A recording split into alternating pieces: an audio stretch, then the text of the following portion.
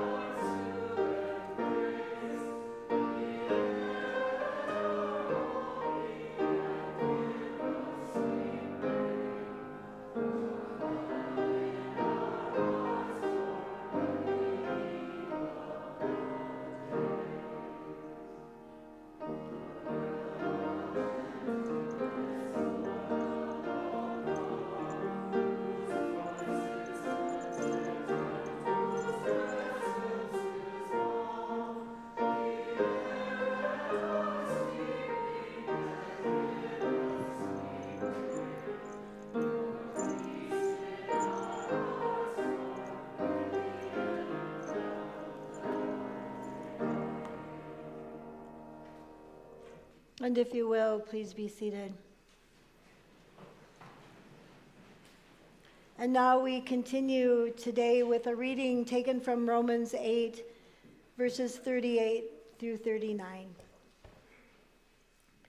For I am convinced that neither death, nor life, nor angels, nor rulers, nor things present, nor things to come, nor powers, nor height, nor depth, nor anything else in all creation will be able to separate us from the love of God in Christ Jesus our Lord. Here ends our first reading. The second reading today is going to be from Psalm 23. We're going to read this in unison. Psalm 23 was a psalm that Frank recited, I am told, every day while he was a prisoner of war. And so we read Psalm 23. Please join. The Lord is my shepherd, I shall not want. He makes me to lie down in green pastures. He leads me beside still waters. He restores my soul. He leads me in paths of righteousness for his name's sake. Even though I walk through the valley of the shadow of death, I will fear no evil, for thou art with me. Thy rod and thy staff, they comfort me. Thou preparest a table before me in the presence of my enemies. Thou anointest my head with oil, my cup overflows. Surely goodness and mercy shall follow me all the days of my life, and I shall dwell in the house of the Lord forever.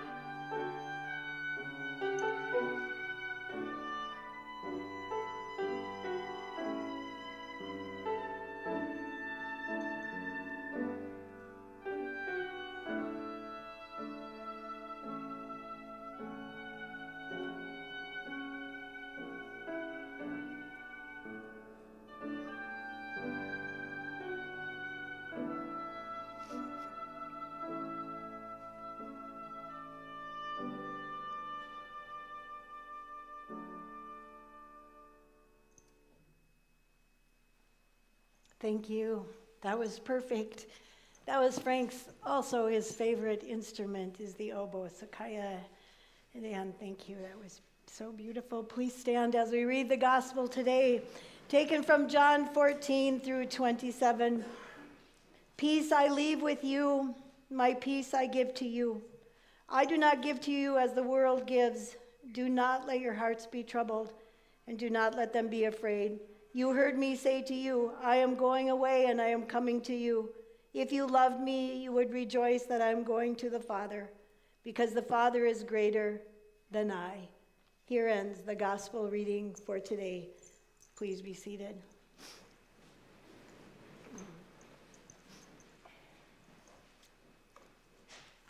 Frank Goplen, where do I start?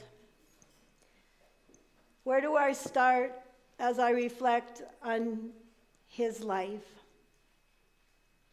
Well, first is this Well done, O good and faithful, faithful servant. I know God would have started with that one. The second one is this I start with pie. Apple, peach, blueberry pie. You might ask me why.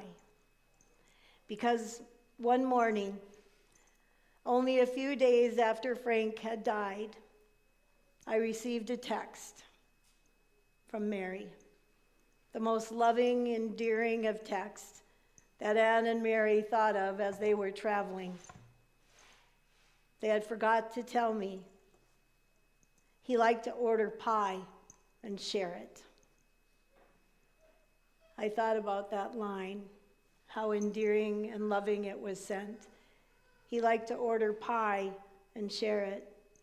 And I think perhaps it is the most fitting and amazing metaphor for this amazing life that he shared and lived and loved with you, his family, and all of us as friends.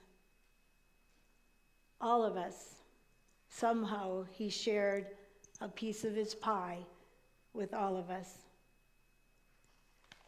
Frank Goplen, while he delighted in life like he delighted in pie, the simple joys of life he just enjoyed them, loved them. He enjoyed sunrises and sunsets, babies like little Sage, whom he last held not so long before he died. He loved dogs, especially little Comet. Oh, he loved you, his family. He loved us, his friends. And many, many times he would say to me, Oh, Margie, I have been so blessed. The blessings of every day, the blessings of things that were simple but oh so good.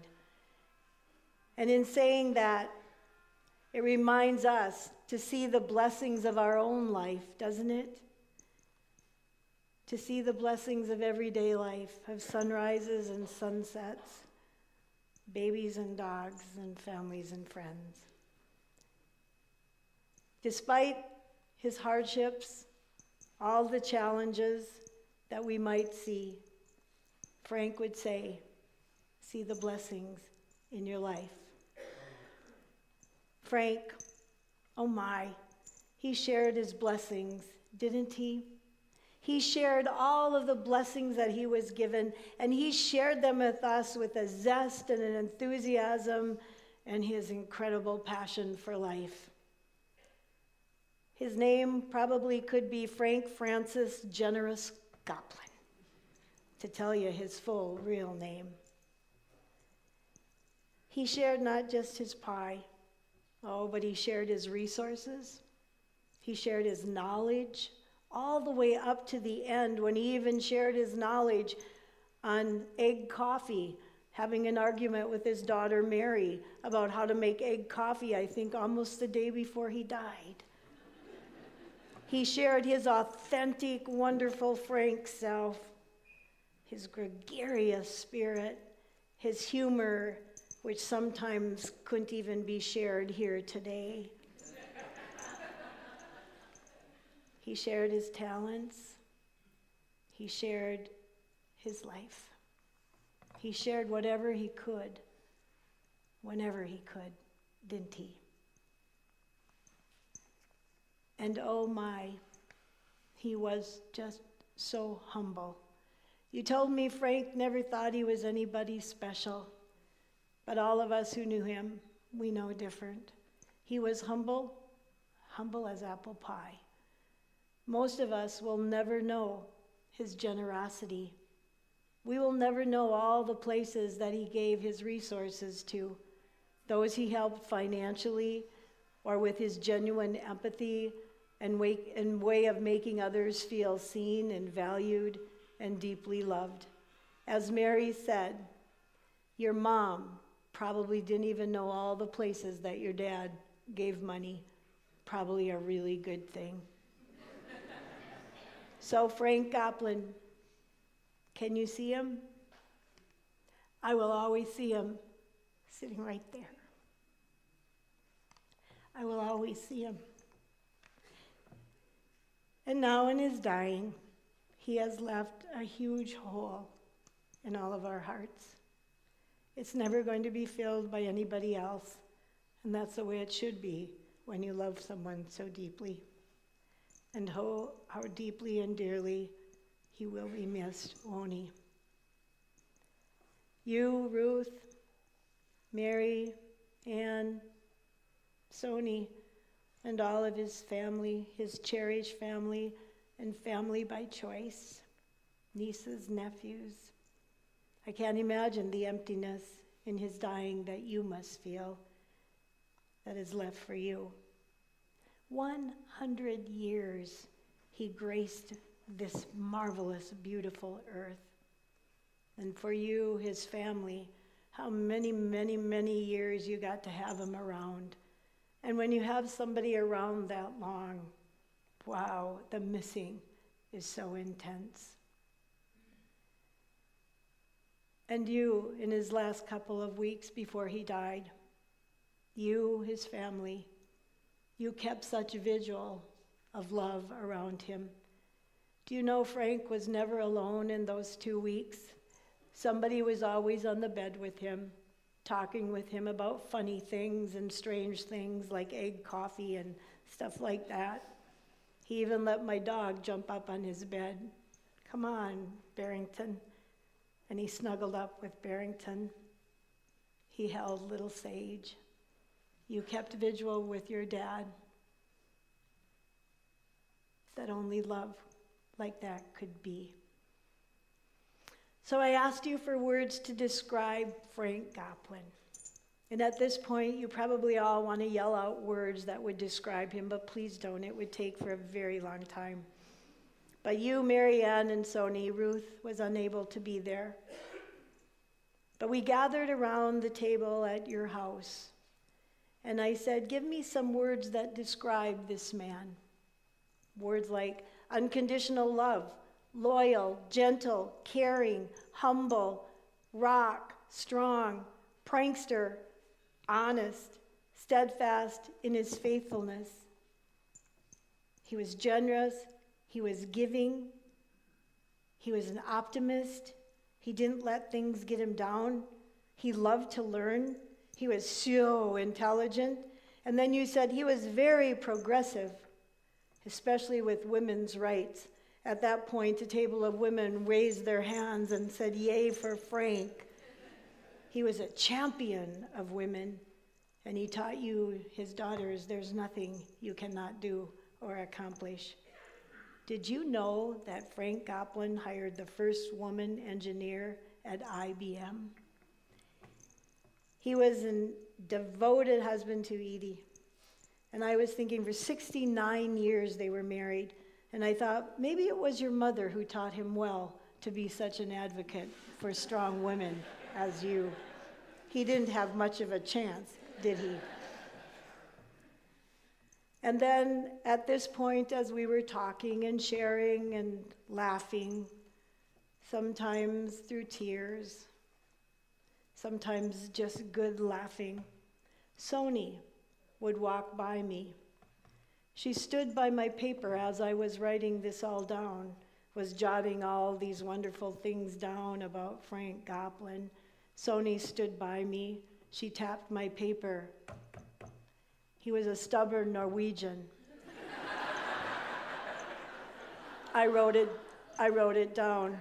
We continued, we continued to st- share some more. Sony walked by again, looked over at my paper stubborn Norwegian again.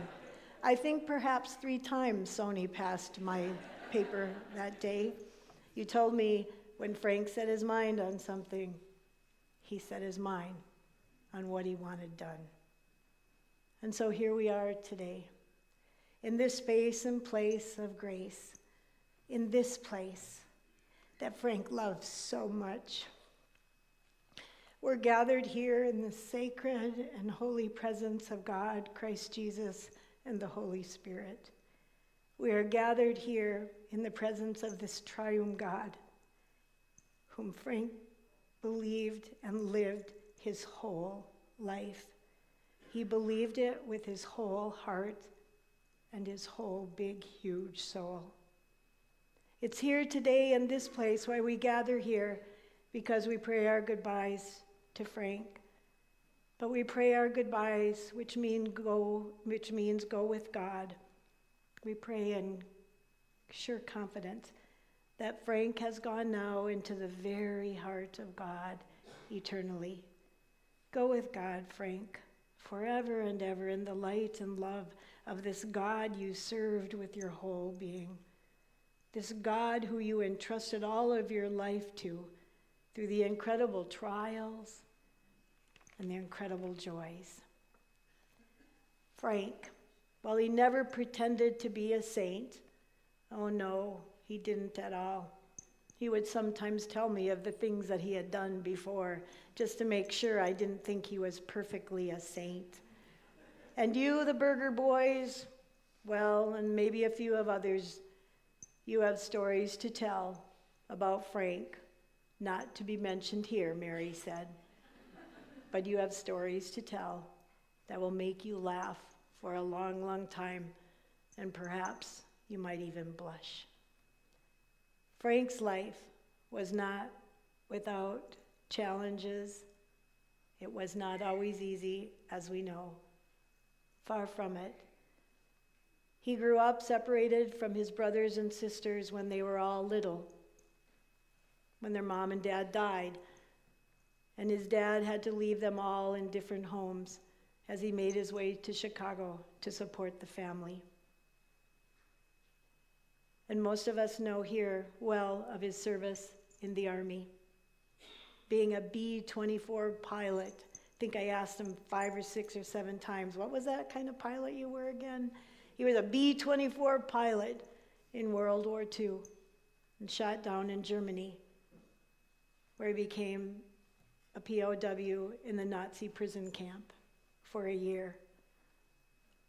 It was when he was nine or 10 years old that he flew a Ford Trimotor plane with his dad. And from then on, he wanted to become a pilot. And it was then his life, it became his lifelong dream and love of being a pilot.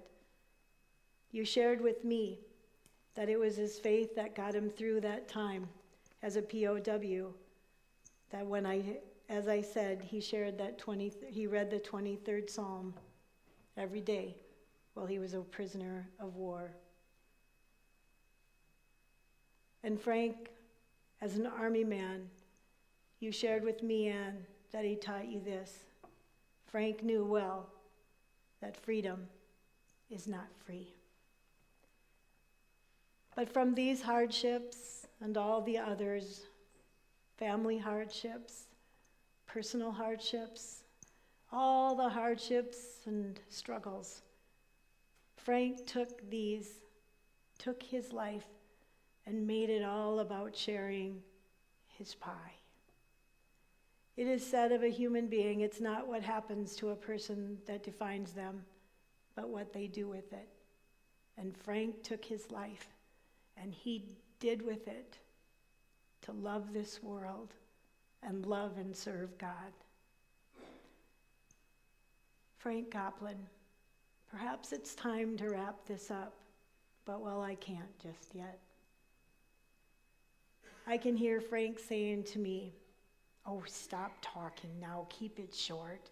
No one wants to hear all this about old me. To which I would reply, Oh, Frank, I think we do. This tall, big giant of a man. Did you ever see his hands? They were huge. As I sat with him in the last couple of weeks, I just kept looking at those hands. But did you know those hands?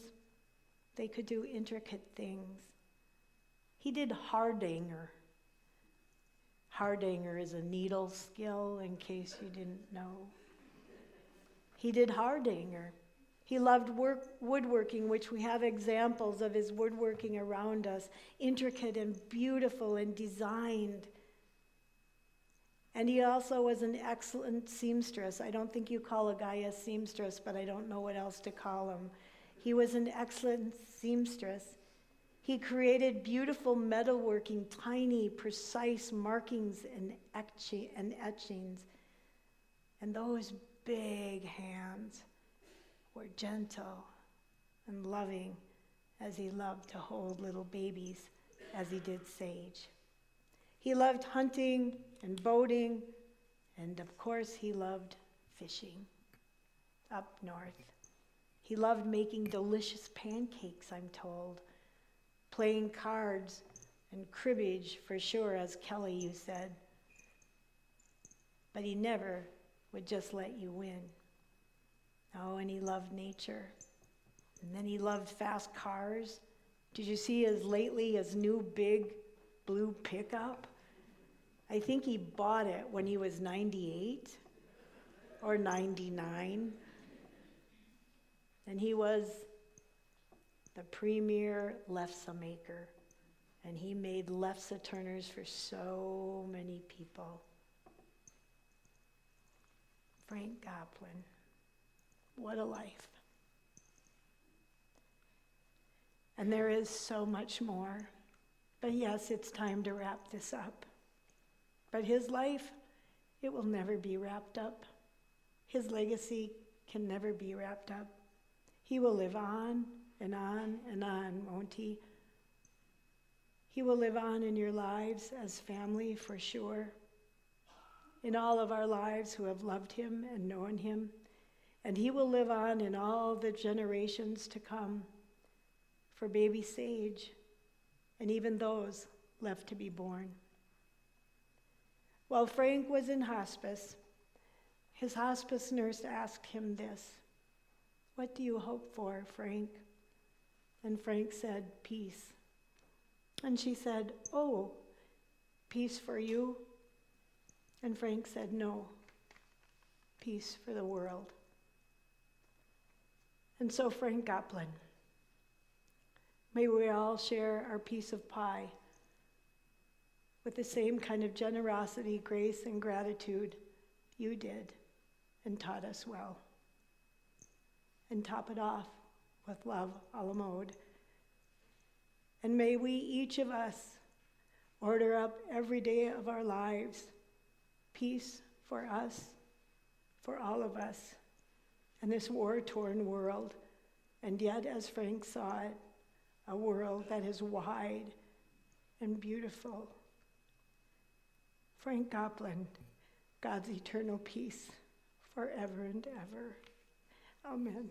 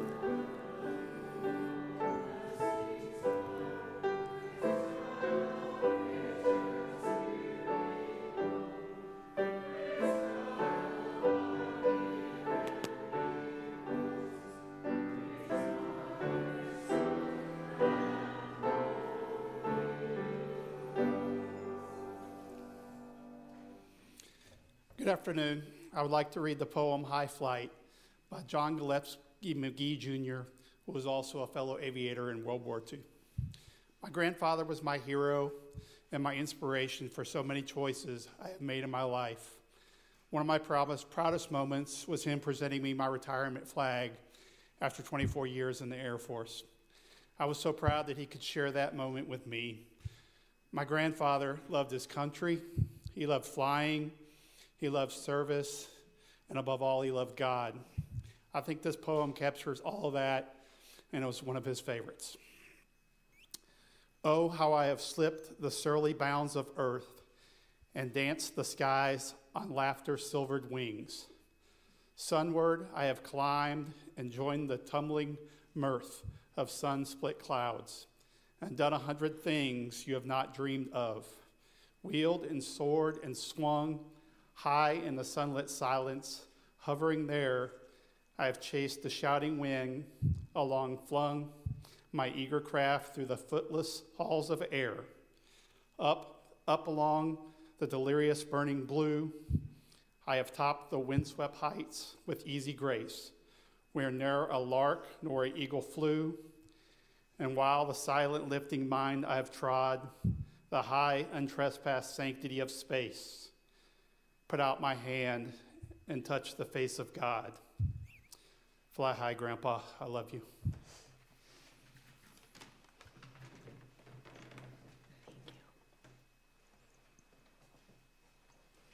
And if you will, please stand as we confess our faith together in the words of the Apostles' Creed. I believe in God the Father Almighty, creator of heaven and earth. I believe in Jesus Christ, God's only Son, our Lord, who was conceived by the Holy Spirit, born of the Virgin Mary, suffered under Pontius Pilate, was crucified, died, and was buried he descended to the dead. On the third day, he rose again. He ascended into heaven and is seated at the right hand of the Father, and he will come again to judge living and the dead.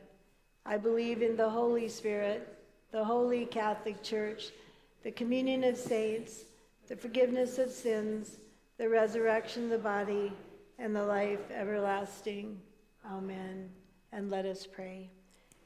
Creator God, here in this place now, we entrust to you eternally into your very heart, Frank. Give to him, we pray and we trust, eternal rest and peace in your presence. Hearts united, we truly thank you for the gift of Frank's life, how he shared and lived and loved and served you for his life. Deepest, deepest thanks. And God of comfort, now in this time of deep grief and sorrow, we lift up to you Frank's family and his friends. Give to each one of us strength and courage to face days ahead. Surround each person, especially his family, with your love and your comfort. And especially may they find peace in knowing that you are a God who is with us always. Merciful God, look in now with compassion on all of us who are so saddened. Take our pain and our sorrow, sorrow and give to us your healing touch. Help us to find comfort in the midst of our grief knowing that you are as close as the very breath we breathe. May each of us feel your presence and experience your peace that passes all understanding. Christ Jesus, in the, faith of, in the face of death, may we be reminded of the fragility of life. Help us to truly, truly take, to never take life for granted not ours nor the life of anyone. Teach us to count our days, to treasure those days, that each one of us may gain a heart of wisdom and grace Help us to cherish our loved ones, to live each day with deep gratitude and kindness as Frank did. And may his life truly inspire us, as I'm certain it will, to love more deeply, to share our pie. And now, God of hope, we look to you in the midst of sorrow. We look to you in memories of joy. We trust in the promise of your resurrection and new life. Strengthen our faith, the kind that Frank had, that we may find hope even in the darkest of times. May the light of your love shine brightly in our hearts, guiding us through the shadow of death and into the joy of your presence every day. And now, together as your people, we pray the prayer that you taught us to pray, you teach us to live each day. Our Father, who art in heaven, hallowed be your name. Thy kingdom come, thy will be done, on earth as it is in heaven. Give us this day our daily bread, and forgive us our trespasses, as we forgive those who trespass against us. And lead us not into temptation but deliver us from evil. For thine is the kingdom, and the power, and the glory, forever and ever. Amen. Please be seated as we sing together, as we think, think of Frank as his one of his last wishes was that there would be peace.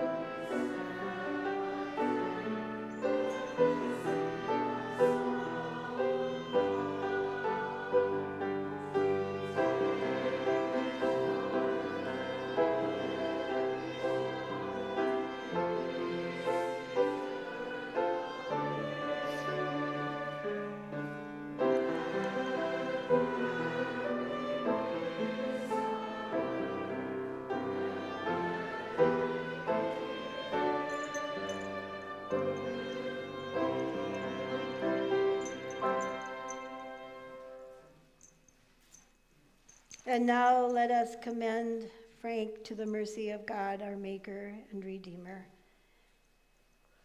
And now into your hands, O beautiful Savior, we commend your servant Frank. Acknowledge, we humbly beseech you, a sheep of your own fold, a lamb of your own flock. Receive Frank into the arms of your mercy, into the blessed rest of everlasting peace, and into the glorious company of the saints in light. Amen. And from this place, may all of us please join together in food and fellowship, lots of stories and memories of this most remarkable and wonderful and loving man.